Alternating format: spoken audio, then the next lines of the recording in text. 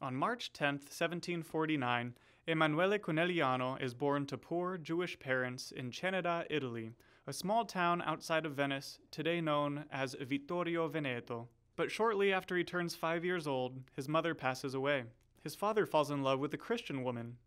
Because Jews could not marry Christians at this time, his father converted his family to Roman Catholicism. The local bishop, named Lorenzo da Ponte, baptizes the entire family. As the oldest son, as was tradition, Emanuele Conegliano takes the bishop's name, rebirthing the librettist we know today as Lorenzo da Ponte.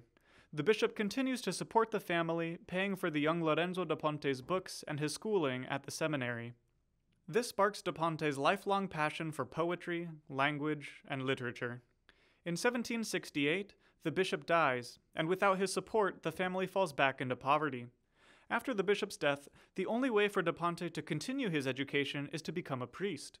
He enters the seminary of Ceneda and the seminary of Portogruaro, taking full holy orders at the age of 24. He becomes a seminary teacher in literature and rhetoric, but while he explores his passion for literature and writing, he begins to create enemies due to the political nature of his poetry. Fast forward to the year 1777, and Da Ponte has moved to Venice after losing his teaching job. He adapts very well to the infamously promiscuous Venetian lifestyle, with lots of drinking, partying, and gambling, and he begins an affair with a married woman named Angioletta. Da Ponte's seductions are aided by his ability to write verses and poems on the spot for any woman he wanted. Da Ponte impregnates Angioletta, and more than once.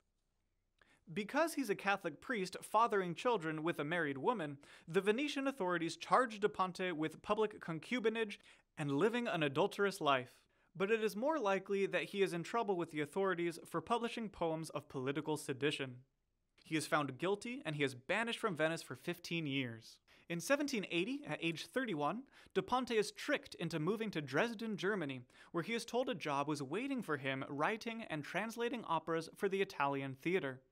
That job is actually held by his friend Caterino Mazzola, and there is not enough work for both of them. But Da Ponte's writing impresses his friend Mazzola, who suggests that Da Ponte start a career as an Italian librettist and writes him a letter of introduction to the famous composer Antonio Salieri. Da Ponte moves to Vienna in 1782 to meet Salieri. Although Da Ponte has never written a libretto, Salieri asks him to write for his operas. In 1783, Salieri introduces him to Emperor Joseph II, and Da Ponte is appointed poet to the court. His first libretto with Salieri, Il Ricco d'un Giorno, is considered a disaster, but Emperor Joseph encourages him to keep writing. In 1786, Da Ponte's next libretto, Il Burbero di Boncuore, with music by Martín y Soler, is considered his redemption. It was so successful that the emperor shouted, Abbiamo vinto, meaning we have won. Da Ponte's most notable collaboration is with Wolfgang Amadeus Mozart. He writes the libretti for The Marriage of Figaro in 1786, Don Giovanni in 1787, and Così fan tutte in 1790, which go on to become three of the most beloved operas still performed today. Da Ponte is at the height of his popularity and success when his favorite patron, Emperor Joseph II, passes away. The emperor's younger brother, Leopold II, assumes the throne. He is not a fan of Da Ponte and his political leanings. He dismisses Da Ponte from his post as poet to the court. Adding to the tragedy, Da Ponte loses another dear friend and his most trusted collaborator, Mozart, in 1791. Da Ponte turns to writing, but his political poems get him in trouble again, and the new emperor banishes him from Vienna. In 1792, at age 43, Da Ponte is forced to leave Vienna and sets off through Europe to find work.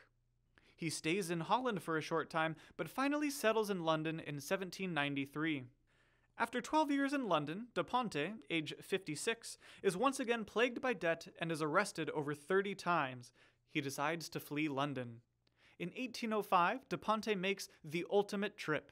He leaves for the United States of America. In New York and New Jersey, he runs a grocery store, but that goes bankrupt. He then opens an academy in Manhattan and teaches lessons in Italian, but then that also goes bankrupt. He moves to Pennsylvania, where he opens a gin distillery and a traveling general store, both of which also go bankrupt. After 14 years of bankruptcies and moving cities in America, things begin looking up in 1819. He opens a bookstore and becomes the first professor of Italian literature at Columbia University, at the time Columbia College. In 1828, at age 79, he becomes a naturalized citizen of the United States of America. In 1833, Da Ponte builds New York's first opera house, the New York Opera Company, to introduce Italian opera to the United States.